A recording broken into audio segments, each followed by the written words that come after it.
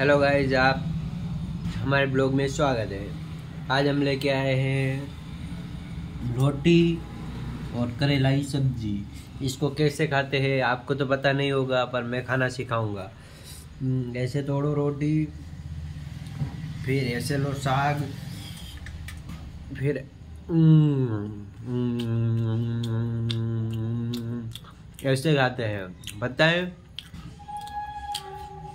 Video पसंद आई हो तो लाइक और सब्सक्राइब करो।